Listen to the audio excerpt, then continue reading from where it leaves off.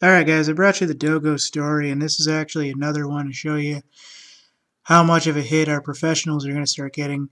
Those of you spending hundreds of thousands of dollars to become doctors and lawyers are soon going to be replaced by computer systems. Meet Ross, the new lawyer replacement. Not kidding. Ross Intelligence is allowing these systems to work as attorneys. Um, I forget Baker Hymanfield or something like that was one of the uh, first companies to actually use them, and those guys are using them for bankruptcy and divorce settlements, among others, uh, to run paperwork and various things. And let me just get straight into here because this is more important every time I see it because this is actually a real thing, really happening and that group alone said that they were going to lay off 50 lawyers because of this one AI. Now, this is the actual website for them, rossintelligence.com slash lawyers, or at least one of them. Legal research is, is an expensive and consuming process that affects practice or your practice and your clients. Future of legal process. Ross is an artificial intelligence attorney to help you power through legal research. Ross improves upon existing alternatives by actually understanding your questions in natural sentences like can a bankruptcy company still conduct business? Or can a bankrupt company still conduct business? I apologize. Ross then can provide you an instant answer with citations and suggest highly topical readings from a variety of context sources. Ross is built on IBM's Watson's uh, cognitive computer. Uh, almost all of the legal information that you rely on to basically construct data, Ross already knows basically on various other things. So what can Ross do? Provide a highly relevant answer, not thousands of results, or yeah, whatever, uh, to your question posed in natural language, not keyboard. So uh, monitor law for changes that can positively negatively affect your case instead of flooding you with legal news. Learn the more you and others lawyers use it. Um, but basically how it's being implemented is basically a, a replacement for at least some some uh, agencies of law so I'm going to get into that in a second as soon as I can find that page because there were two or three good ones I had yesterday. Uh, Artificial Intelligent Lawyers Ross has been hired by its first law firm. Maybe I can just use this. Um, Ross for its bank. Okay, here it is. So yes, okay, I don't have to go to another source. Baker and Holster have announced that they will employ Ross for its bankruptcy practice. Currently, compromise almost 50 lawyers. Through IBM's Ross to handle their bankruptcy practice, which is a momentum which consists nearly 50 lawyers, according to the CEO and co-founder Andrew Arruda.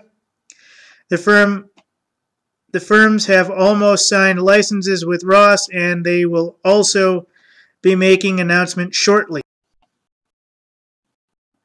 This is the one that is worth reading. Uh, Baker and Hostler, the uh, the law firm that hired one of them, Chief Information Officer Bob Craig, explains the rationale behind the latest hire.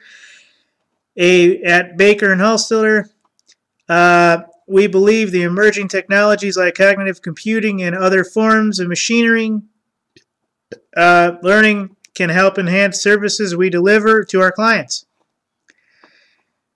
And basically it says by using Ross since the first days of its development, we are proud to partner with a true leader in the industry and we continue to develop additional AI legal assistance, he added. So this is your legal replacement. Let me explain what this actually means. This means that they're no longer just using fast program to target people's behaviors and get them into a jail cell and get them pills and run them through various algorithms of behavioral cognitive therapy.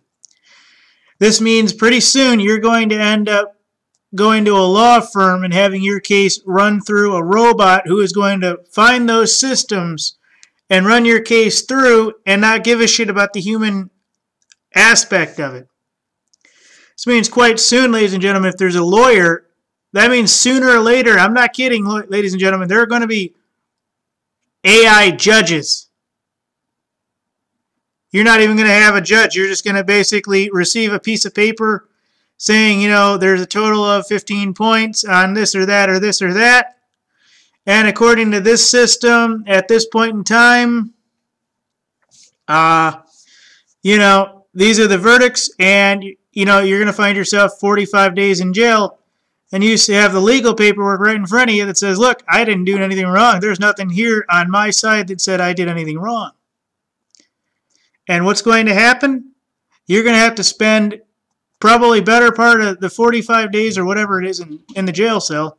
And then you're going to have to go before a human magistrate who is going to have to overturn it probably after 45 days. Meanwhile, you now owe 45 days worth of money to that court system because the AI lawyer and the AI judge fucked it up because of all the fast programs and all the data modeling and algorithmic things that everybody called conspiracy 5 and 10 and 15 years ago that were being implemented under the War on Terror Act or Patriot Act among facial recognition software and hundreds, if not thousands, of other things. Ladies and gentlemen, this is actually happening.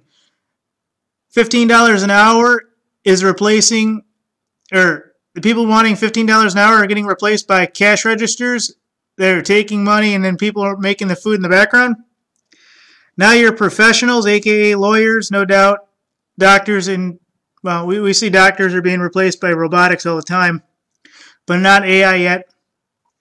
Uh, so lawyers are getting replaced. Soon to be, there's going to be AI judges. I guarantee it, folks. I guarantee it. This is the reality. I'm not kidding you, folks. Thank you.